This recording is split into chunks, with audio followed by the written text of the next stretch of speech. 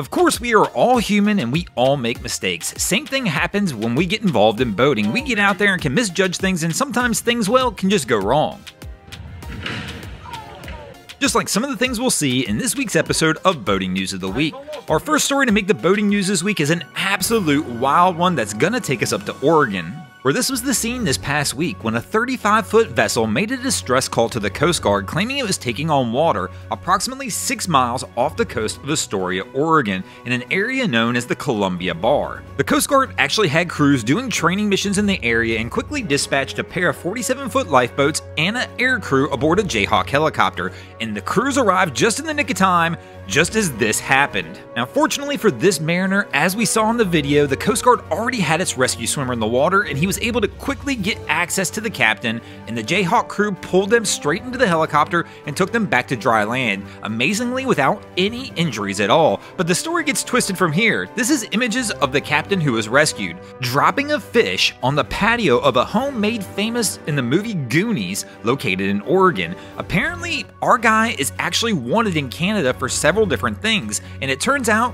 he actually stole this vessel. Now, as you can imagine, the Coast Guard took the gentleman to a local hospital so he could be checked out, and local officials tried to verify the man's identity, but the gentleman actually was able to successfully check himself out of the hospital before local officials could figure out who he was. Once they determined that it was Jericho Labonte and that he was wanted in Canada for several charges, and that this vessel was stolen, police went back after him and he was arrested later that evening based on charges of theft, endangering another person, unauthorized use of a vehicle, and criminal mischief. Our next story to make the boating news this week is going to take us over to Western Australia, where this was the scene this past week, when three gentlemen went out for a nice day of fishing when their vessel began to take on water and wound up capsizing approximately 10 miles offshore.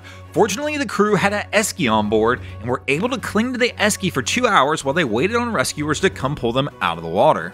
The gentleman claimed the esky helped save their lives as conditions were rough and it added extra flotation they needed to stay above the water. Fortunately, the crew had an EPIRB on board. Rescuers were able to find their exact location without any injuries.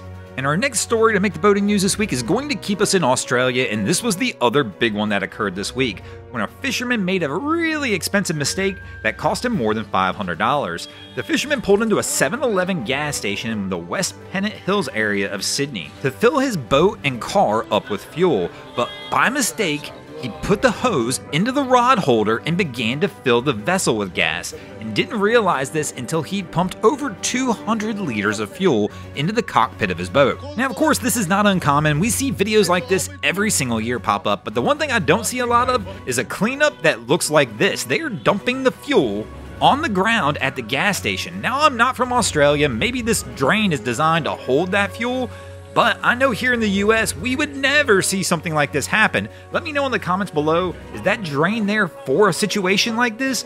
Or is this guy just literally dumping fuel on the concrete at a gas station, probably causing a massive fire hazard? Now, I'm just guessing here in the US, if this was going on, this guy would probably get arrested. I'm not sure what's going to happen over there. Let me know in the comments below. Have you ever done this? I know the comments I've seen in this video have varied wildly from people saying, oh, we've been there, done that to basically berating the gentleman. What I'm really curious about, I wonder if this was a friend offering to pay for the gas and the captain just didn't watch him. Thanks for watching, guys. I hope you enjoyed this week's episode of Boating News of the Week. If you ever see anything crazy happening out on your waterways, be sure to hit us up on Facebook or Instagram and let us know when you might see your stories over here. Just like Alex River, Brandon Hizza, Nick Pilmer, Thomas Johnson, Don Herr, and Corey Lewis did this week. And if you guys haven't already, go ahead and drop an anchor on the subscribe button here. If not, we're coming to steal your drain plug.